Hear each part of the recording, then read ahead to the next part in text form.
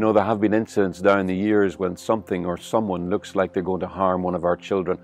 And I have seen my wife, Nicola, who is one of the quietest and gentlest people I have ever met, suddenly rise up like a lion and step in between her child and the threat.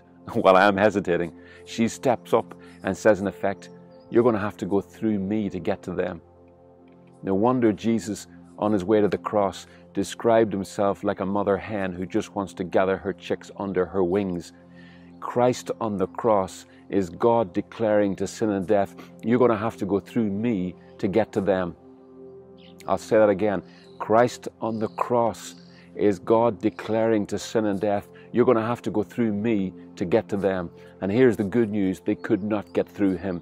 When darkness met light, light won. When union met separation, union won. When sin and death met Christ on that cross, the communion of the Father, Son, and Holy Spirit, the union of the Trinity was stronger than the separation of sin and death. And the resurrection was the appearing of that victory, that truth, this new life that man and woman could now live in and live from. Life in communion with the Father and the Spirit, life in the Son, what the New Testament calls life in Christ.